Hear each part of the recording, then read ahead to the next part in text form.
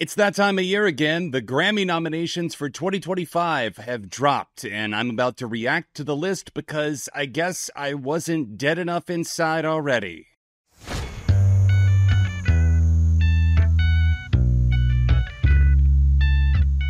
Hey neighbor, welcome back to Beyond AR TV. My name is Jon. What used to be an annual tradition for me now feels like going to check on an old friend from high school that you don't really care how they're doing, but you feel obligated, and thus the Grammys. There's a link in the description for all of the categories. I'm not going to react to all of them, but this is my first time seeing them, so let's go over it together and see how pissed off we get in real time. Pitchfork has compiled the entire list, so let's scroll down to our first category, which is Record of the Year. The Beatles, Now and Then, Texas Hold'em by Beyonce, Birds of a Feather, Billie Eilish. I have a soft spot for that one. I love the song, but it was also my friend's first dance at his wedding last week. Good luck, babe. 360 Charli XCX, not like us, three in a row that I would not be mad to see win. Espresso and Fortnight rounding it out, uh, one being much better than the other, that being Espresso. Fortnight, one of the worst on an already bad album.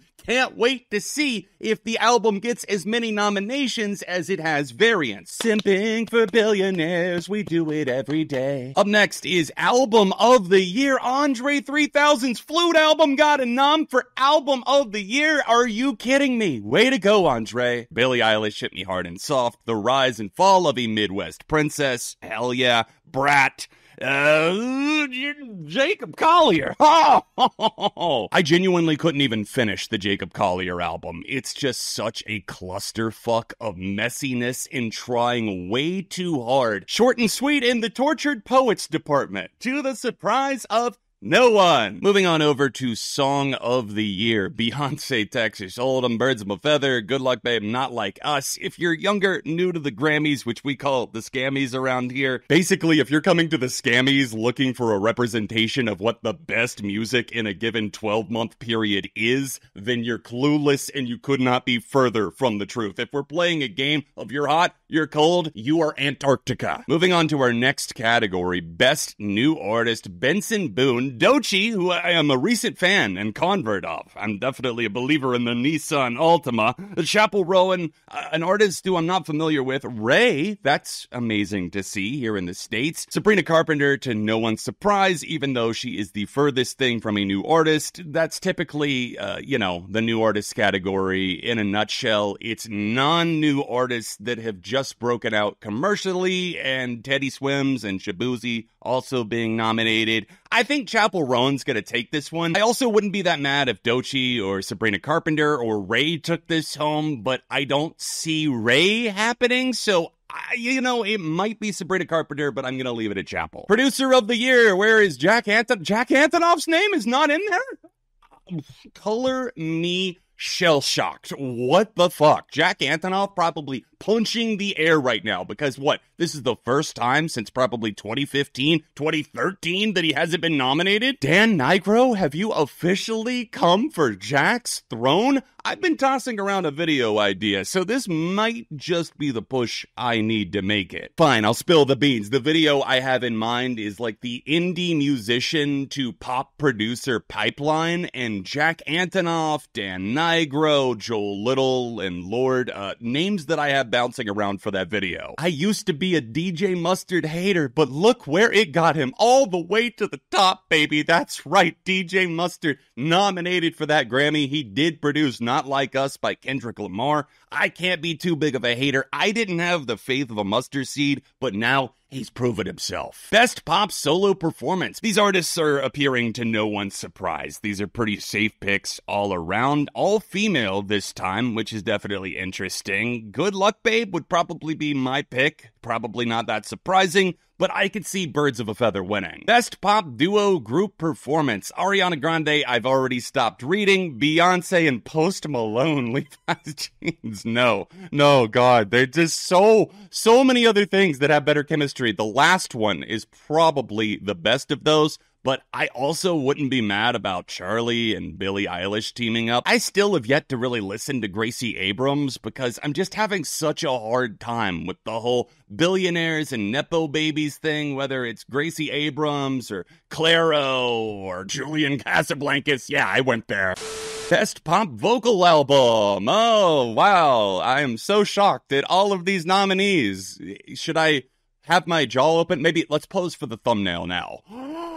I'm giving it to Chappell. Let's give it to Chappell all the way around and just move on, okay? Best dance pop recording. Madison Beer got a nom. I don't have too much of a say here, okay? But uh, we got the extended edit of a Billie Eilish song getting nominated. It's interesting to see that her team submitted that. Anything but this, please. Best dance and electronic music album. You've got Justice getting the nom for Hyperdrama. Hell yeah, that's an underrated horse in the race. Brat by Charli XCX Four Tet, Kaytranada, and Zedd. I gotta give this to Justice. Incredible duo that I've just loved a lot of the songs from that project this year, but I do think that Brat might actually come away with this one. They just can't nominate Brat for this many things and then not give it anything. So I think 360 will take at least one category and then probably for Best Dance and Electronic. Moving into my neck of the woods now, baby, it's Best rock performance, the Beatles. Now and then, the Black Keys. Really? We're still giving it to the Black Keys. We're going to nominate them. Okay, I think that says a lot about the Grammys in being in touch with the pulse of rock music. But I continue. We've got Green Day. Okay, The American Dream is killing me. Great to see. Obviously, my favorite band. Not going to be too mad about that. IDLES with Gift Horse. One of my favorite songs on overall a disappointing album. So I'm stoked on that. Probably my favorite track overall. Just a snarling punk cut. Pearl Jam with Dark Matter and St. Vincent with Broken Man. You know, other than the Black Keys, damn, I got to give it to the Grammys. Hats off. Y'all didn't do too bad this time. What would I give it to though?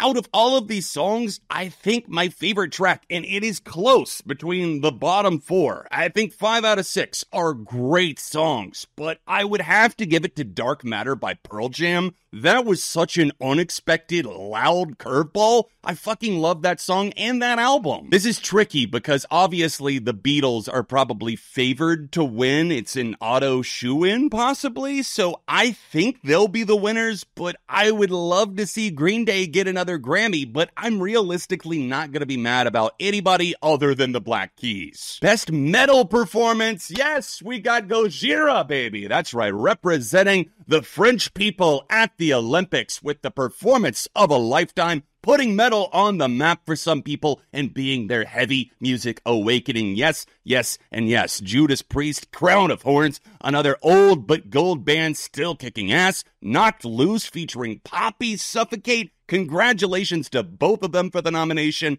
Metallica screaming suicide and Cellar Door by Spiritbox, ending on a positive. I think again there is one that doesn't really belong here, but I get it because they're a legacy band. This was one of the worst songs on an already extremely tepid album. Personally, let's go Gojira, man. I want to see them win this thing. It would be cool to see Knocked Loose and Poppy get it as well, so that's my backup back pocket pick, I guess. Moving over to the next rock category, best rock song. Oh, it's Beautiful People. Again, the Black Keys. Gotta love that, man. If there's one thing the Scammies are, it's consistent, but they did put Green Day's best song since American Idiot Dilemma in this category, so I am automatically voting for that. Gift Horse, Dark Matter, Broken Man, pretty much a repeat of the best rock performance category, minus a song or two. I'm gonna give this one to Dilemma by Green Day, of course, to no one's surprise, and I actually think they could win for this too. Best rock album, The Black Crowes. I did not know they even put out an album this year. Fontaines DC Romance, that must have just come out just in time to make the cutoff date for the Grammys. Saviors by Green Day. Tank by IDLES, No Name by Jack White, fuck yeah, and Dark Matter by Pearl Jam. And the Rolling Stones, sorry, I, I almost didn't scroll far enough. Hackney Diamonds too. Well, that last one actually could be an upset because the Rolling Stones, they are such a legacy act that I could see them just handing it to them. But Jack White has had success at the Grammys, and this was such a fantastic album that came out of nowhere, literally. I'm floored by it still. A fantastic one. It's my pick personally and my pick to win. Let's take two birds of a feather here. The alternative pairing. We got best alternative music album and best alternative music performance. For that, we have Cage the Elephant, Neon Pill, Fontaines DC Starburster, Kim Gordon, Bye Bye, Nick Cave with Song of the Lake, and Flea by St. Vincent. Best alternative music album, you've got Brittany Howard, formerly of Alabama Shakes, Clairo, Kim Gordon, Nick Cave, St. Vincent. It's pretty much the same thing, just rotate the song for an album. Neither of these categories are super exciting to me with the nominees that they picked, but I'm gonna go with Starburster for best music performance in the alternative space, just because I wasn't really a big Fontaines DC fan before that, but it totally swayed me back to the other side of liking them. I think for best alternative music album, though, I'm gonna go with St. Vincent for my personal pick. I thought that was a really good album, but I could see this going to Brittany Howard. Scrolling down to the rap section, I'm just saying if Kendrick Lamar, not like us, doesn't win best rap performance, like for example, if this lost to Cardi B's Enough Miami, I might quite literally gouge my eyeballs out with this microphone. Nissan Altima, though, that's cool to see that getting the nom. Like, that is such a fire track. I can't lie. So, would I be mad? No, I just still, come on, this is song of the year right here. All right, guys, I think that's pretty much gonna do it for what I cover in this video. So I hope you enjoyed seeing my reactions to the Grammy nominees for 2025. Let me know your thoughts on the 2025 Grammy nominees in the comments down below. Hit that like button on your way out, subscribe for the love of music. If there were any big snubs that you really expected to see, like Magdalena Bay but didn't show up, let me know about those as well, and I'll see you next time on Beyond AR TV.